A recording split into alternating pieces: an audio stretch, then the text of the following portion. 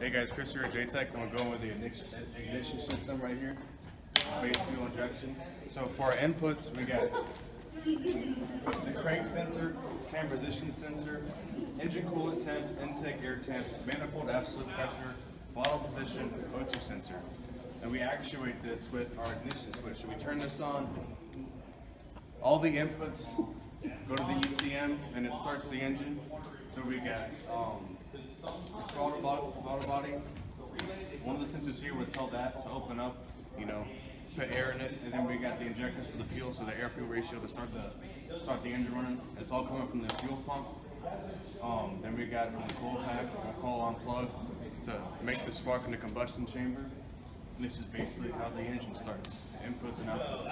Thank you.